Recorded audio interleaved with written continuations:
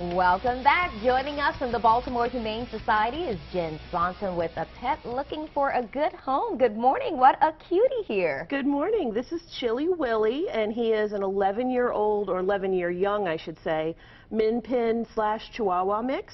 Um, he's available for adoption at this shelter. He's fantastic. Yeah, I had him home last night with my dogs, and he did fine with them, so I think he'd probably be okay in a home with dogs.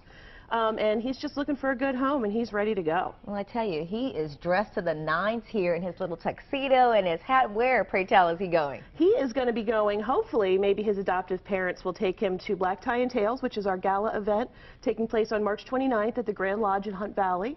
Um, that is our annual signature event. We have a silent auction, we have a 50-50 raffle, we have a live band with dancing, an elegant seated dinner, uh, open bar, very important. Yes. and it's really, really a great time. Now, the thing that makes it really amazing is that people can come and they can bring their pets.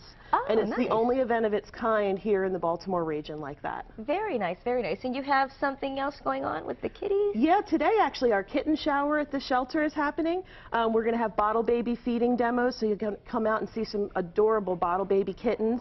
And we'll, um, we're asking for donations as well. Um, if you go to our website, which is bmorehumane.org, you can find out all the information about the kitten shower as well as black tie and tails. That sounds so cute, a kitten shower. Do you, do you get to hold them like this, sort of? Well, yeah, maybe you could. Yeah, maybe we'll we'll pass around some little kittens. All right, that that sounds that sounds fun. All right, well let's hope that we can find Chilly Willy here a nice little home. I almost want to sing the little song. My name is Chilly Willy. I'm not going to do can. that because I value my employment here at WBAL. so I will not sing to you all. The time now is 7:50. We're in the 40s downtown, and coming up, we're in the kitchen for Sunday brunch. Stay with us.